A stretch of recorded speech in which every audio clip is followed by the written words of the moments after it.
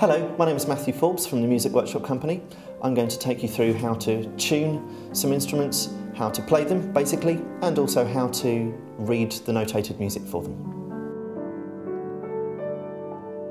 So the bass clef is the clef we use for notating the lower notes. I'm going to show you on the piano and the cello, which is a, uh, an instrument that uses almost solely the bass clef. The bass clef notes on the piano are the ones uh, generally in the left hand. Middle C is the note, a, an extra line or a ledger line above the top note of uh, the top line of the five in the stave. That's middle C there. And we come down stepwise between line and space and line and space.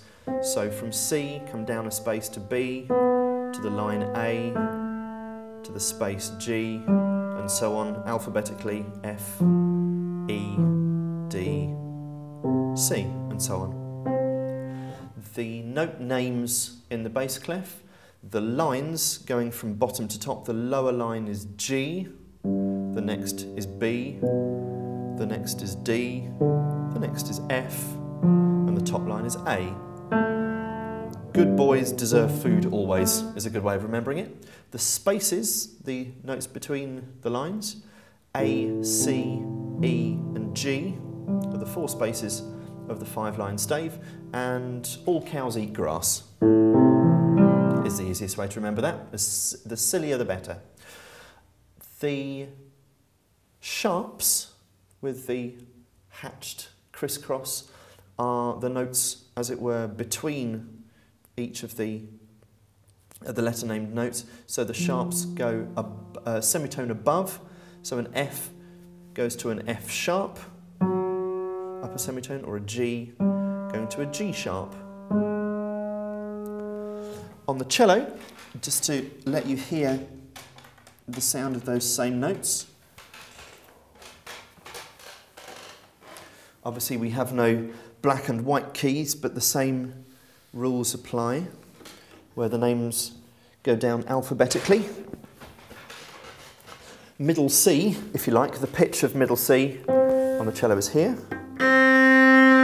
So C, B, A, G, F, E, D, C. The lowest note on the cello being the C below that, which is written two ledger lines below the bottom of the stave.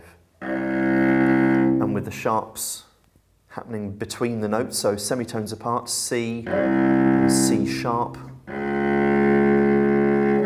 to D, to D sharp, to E, and so on.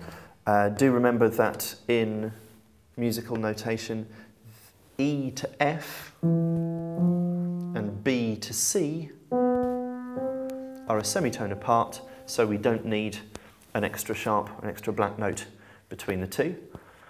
And that is the bass clef.